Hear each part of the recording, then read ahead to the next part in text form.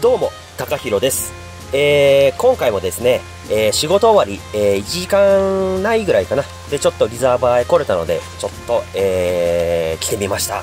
はい。えー今日はですね、えーこの雨、雨の日ということで、えー前回と同じ LINE スラックの、えー背びれ、えー OYG スケールリフレクトカラーってやつですね。このチャート系で、ちょっと攻めてやっていこうと思います。はい。えー先日ですね、ちょっとリールの方を、えー、きれいに掃除したので、今回、えー結構飛距離が出て、バンバンちょっと飛ばしてる感じです。で、1箇所目の狙いが、やっぱりこの奥に、えーインレットがあるんですけれども、ここですね。えーインレットの手前に、えーゴミ溜まりができていて、まあ、まずは手前の、ゴミ溜まりの手前からちょっと、えー背びれで、ちょっと狙っている感じなんですけれども、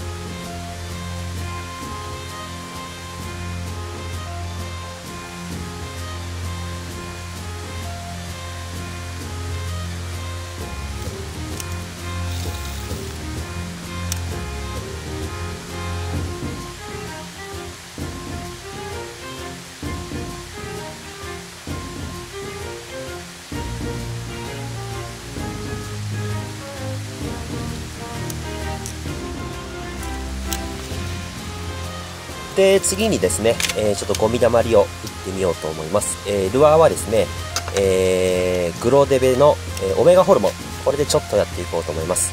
フックはベイリゴつけておりますね。ストップルアーズのベイリゴ。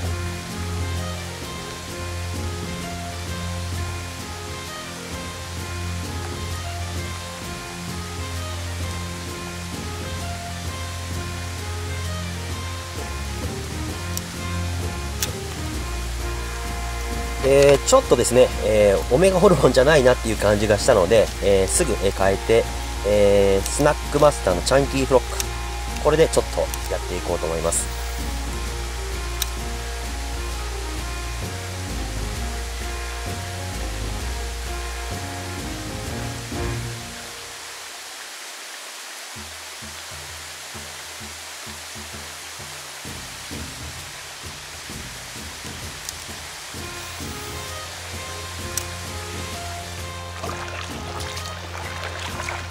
えー時間がちょっと限られているので、えー今日一番狙っていた、えーオイルフェンス、えーオイルフェンスへちょっと今向かっています。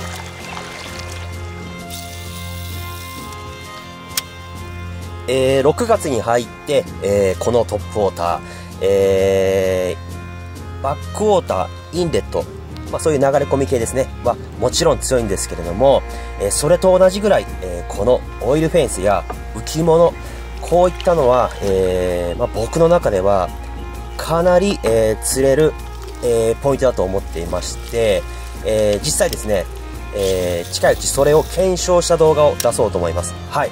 で、今回も、まあちょっと、こういったオイルフェンスでちょっと釣れてるので、今からちょっと、その、いいバイトシーンかなが出ると思うので、ちょっとお楽しみにしててください。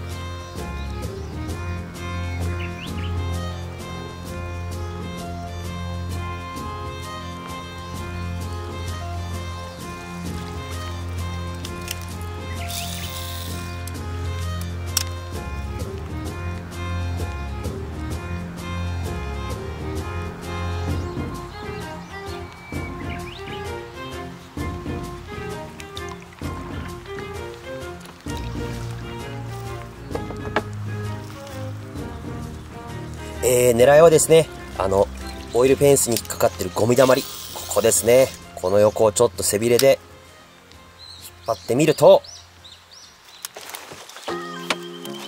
やっぱり出ましたね。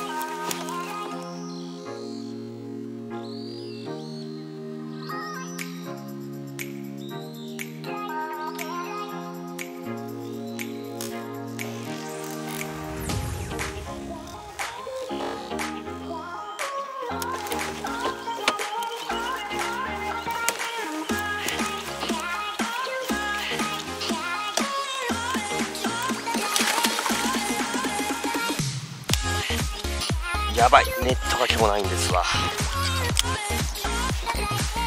えー、今回ですね、えー、ランディングネットをちょっと車に忘れてきちゃったんで、えー、ハンドランディングで、えちょっとキャッチしようと思うんで、ちょっとバスをですね、ちょっと、えー、終わらせて、え慎重に、えちょっとハンドランディングで、えちょっと持ち込もうと思います。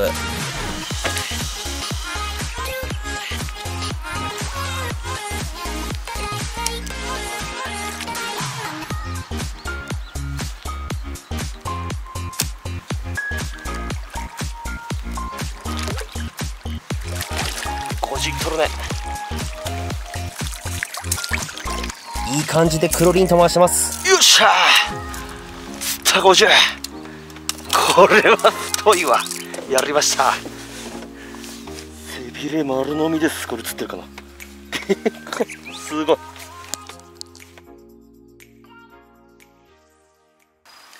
えー、やりました。またですね本日も。背びれで51.5センチです。これめちゃくちゃいいマスがまた釣れました。こんな感じ。黒くてですね腹もこんな感じ。はい。いややばい。はい。めっちゃ引きました。しかも今日ちょっとランディングネット忘れてきたんで久々のハンドランディング。ちょっと焦ったんですけど、まあ、無事キャッチすることができました。はい、まあ、めっちゃ背びれ釣れます。やばいです。はい。えー、今回の高弘トップ TV は、えー、ちょっとこの辺でも 終了しようと思います。はい。ありがとうございました。チャンネル登録の方よろしくお願いいたします。ありがとうございます。めっちゃ嬉しいです、これ。やりました。ありがとうございます。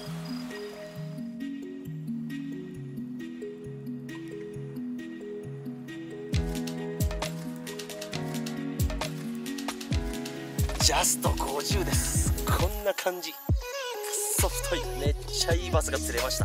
はい、えー、ルアーはですねカランバの羽ナポレオンというルアーですね。はい。